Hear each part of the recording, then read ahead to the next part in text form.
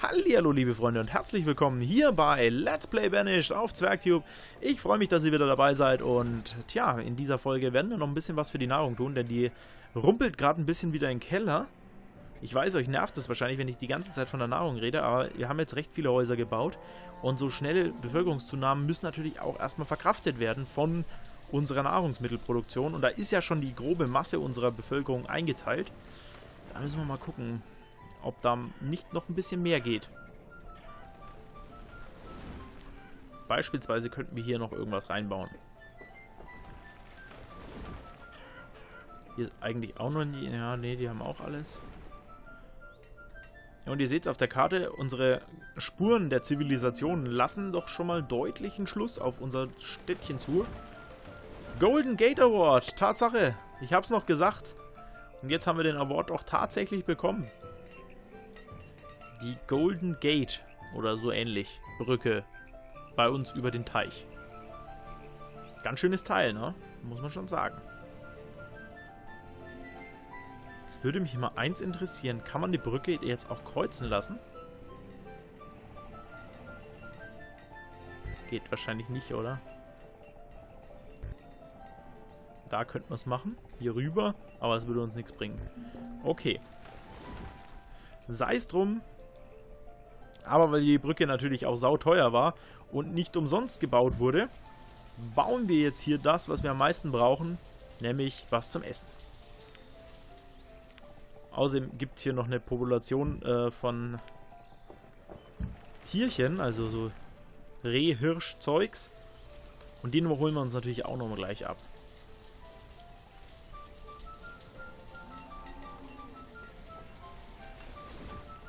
Schön Mischwald. Mensch, herrlich, oder? Ist noch toll. Ich finde das toll. So, Stonecutter. Wir haben natürlich jetzt wieder wahnsinnig viel Personal übrig. Die theoretisch bauen könnten, wenn sie denn würden. Hm. Trader ist gerade da. Schauen wir mal, was der kann. Ein bisschen was für, zum Essen für uns. Wunderbar. Nehmen wir mal irgendwas, was wir vielleicht weniger haben. Korn. Weed. Und... Hm, was haben wir denn noch so nicht? Walnut. Walnut. Okay. Dankeschön. Sehr freundlich. So. Da ist natürlich wieder was auf dem Feld liegen geblieben. Wer hätte das gedacht? Wie denn so immer? Oder so oft zumindest. Hier, die Chicken haben sich schon bis zur Grenze hier vermehrt. Die werden natürlich auch gekeult, die Jungs. Dann haben wir hier ein paar Schäfchen, 11 von 11. Das läuft auch ganz gut.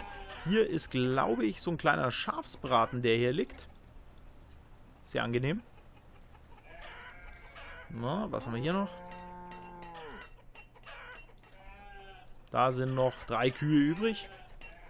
Mal gucken, das kann sich natürlich ein bisschen ziehen. Hier haben wir ein paar... Oh, da ist einer gestorben an Erschöpfung quasi oder Verhunger zumindest.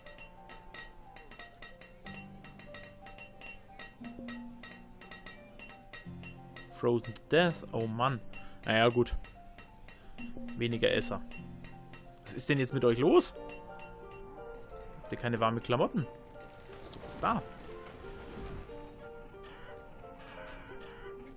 Hunger gibt es auf jeden Fall auch momentan wieder sehr, sehr viel. Unser Marktplatz hält auf jeden Fall aber trotzdem ganz gut hier die Stellung. Da geht ordentlich was. Mit den Häusern, ähm, das ist wieder mal so eine Sache. Ich habe jetzt 20 Bauarbeiter. Ich frage mich natürlich, wo die alle wieder sind. Weil gebaut wird gerade gar nichts.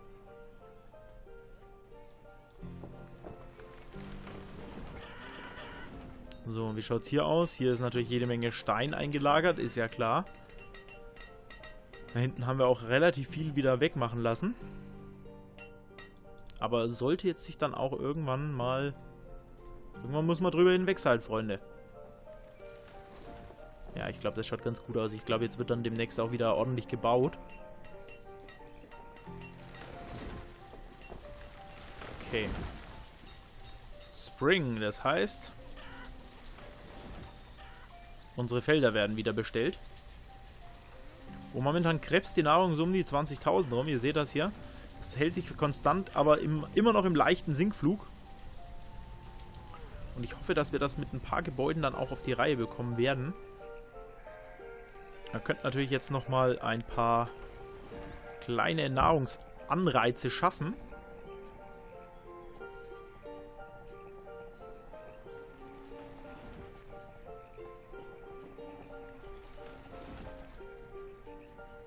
Ich weiß, ähm, ich bin jetzt nicht der überzeugte Fischerfreund, ja, aber in dem Fall, bevor wir gar keine Nahrung kriegen, nehme ich lieber die, die ich irgendwie bekommen kann. Nomaden, sorry Freunde, ihr nicht. Zumindest nicht heute. Morgen vielleicht auch nicht. Kann doch nicht aufnehmen. Ich würde gerne, aber ich kann nicht. So, wo können wir denn hier noch? Da macht es noch vielleicht Sinn.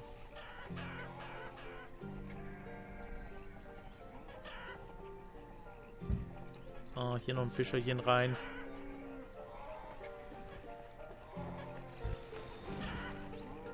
Zack, zack, hier noch einen hin. Oder kriegen wir da die Straße rum? War ja klar. Na, geht auch nichts. Von hier oben kommen wir wahrscheinlich auch nicht mehr ran. Doch, Tatsache.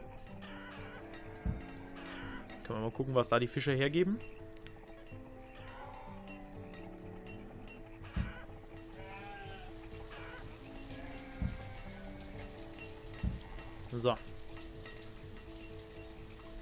Okay.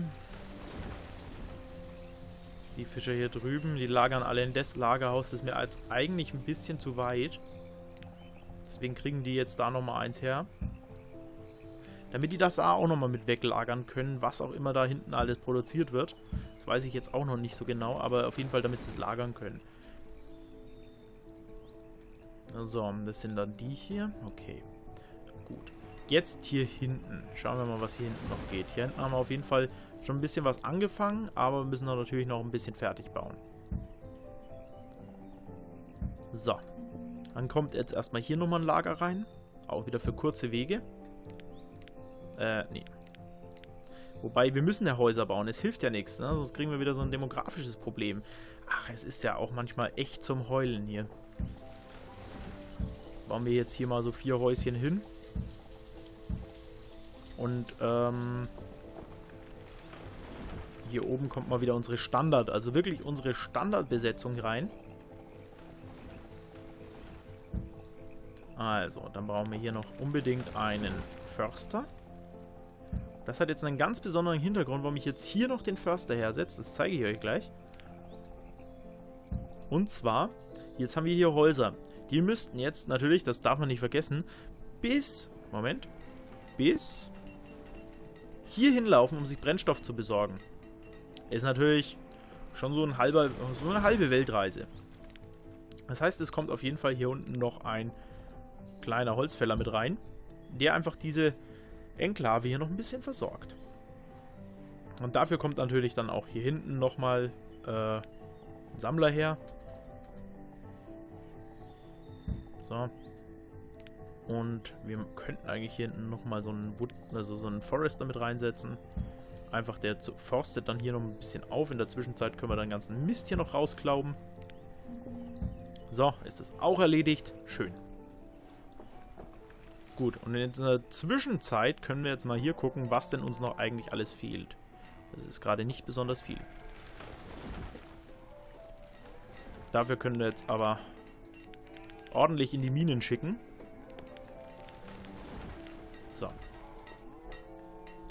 Wieder ein paar zufriedene Kunden. Hm, ja, okay. Regeneriert sich relativ zügig. Wie schaut es mit unserer Bevölkerung aus? Geht es langsam mal ein bisschen normal weiter? Ja, es flacht sich schon langsam ab. Ich baue, wie gesagt, keine Häuser, ganz bewusst nicht, damit das nicht noch weiter angeheizt wird. Oder wenn, dann halt nur ganz wenig Häuser, aber nicht mehr so krass wie am Anfang, wo ich dann echt hier so eine ganze Reihe gesetzt habe. Ne? Das ist natürlich, muss auch alles versorgt sein. Und die, ihr seht die werden auch viel, viel älter. Da sind junge Familien eher jetzt so die Ausnahme. Deswegen muss Frozen to Death. Ah, da unten gibt es keine anständigen warmen Häuser. Hm. Könnte man natürlich weiterhin hier hinten nochmal richtig so eine kleine, so eine kleine, aber feine Fischergemeinde aufziehen.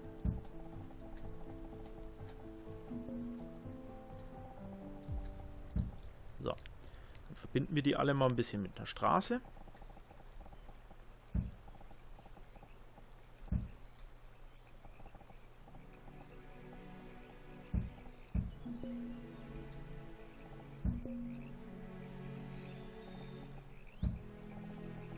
Denn hier los? Sterben gerade echt viele weg, du. Wahnsinn. Naja gut, weniger zum Durchfüttern. Auch wenn es jetzt böse klingt. Aber die Nahrung geht natürlich schon auch ganz schön bergab.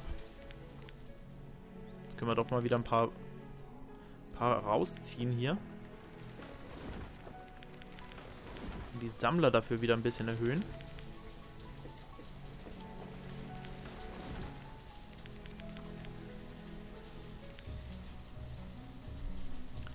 Ja, es wird schon. Es wird, Freunde, es wird. Und jetzt sollte auch eigentlich die Nahrung sprunghaft ein bisschen hochgehen.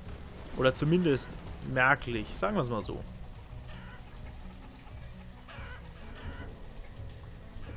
Nee, sie fällt. Ja, okay.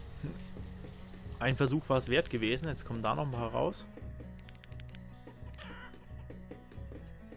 Fische haben wir demnächst auch ein paar unterzubekommen. Ja gut, die müssen jetzt erstmal dahin laufen und dann müssen sie auch was essen irgendwann. Aber da wird auch schon ordentlich eingelagert. Es ist nicht so, dass da gar nichts geht, ne?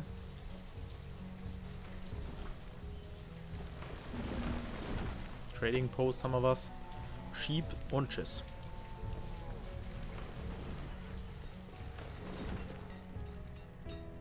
Hier wächst wieder ordentlich was Neues auf dem Feld.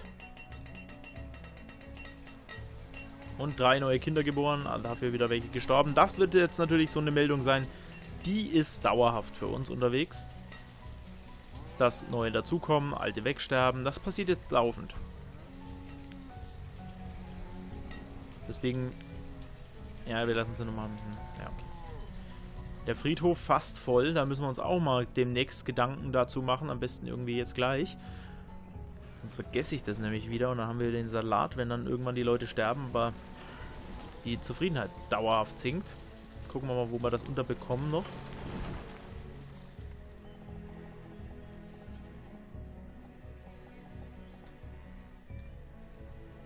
So, hier kriegen wir noch einen hin. Er ist auch relativ zentral, so der, sozusagen der Zentralfriedhof unserer Gemeinde. ja, der Zentralfriedhof, ich weiß, der war gut.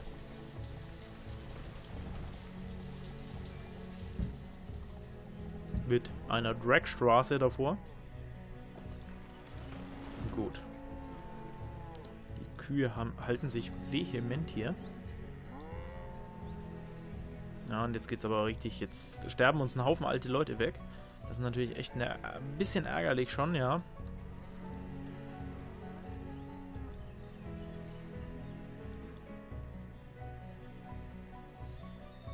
Also und die Sammler könnten wir jetzt natürlich noch mehr aufbohren, werden wir auch tun, sobald ein bisschen Bevölkerung nachkommt. Es werden ja momentan, es wird geboren, das ist ja der helle Wahnsinn. Ja, hier zweimal 80, okay, brauchen wir nicht drüber reden, ne? Es kann alles schnell gehen jetzt hier. 16.000 Nahrung momentan noch übrig, das heißt alle, die jetzt irgendwie dann frei werden, beziehungsweise ich werde jetzt noch ein paar frei machen, die natürlich dann nochmal hier unterstützen.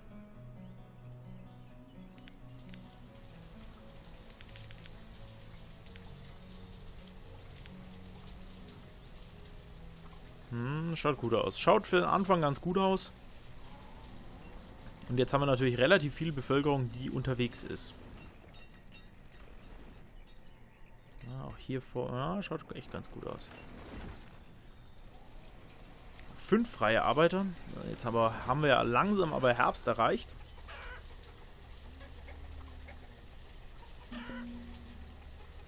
Mumps ist ausgebrochen. Da werden natürlich einige jetzt ins Hospital rennen. Ja, jetzt können wir die Geschwindigkeit wieder hochsetzen. Ab ins Hospiz mit euch.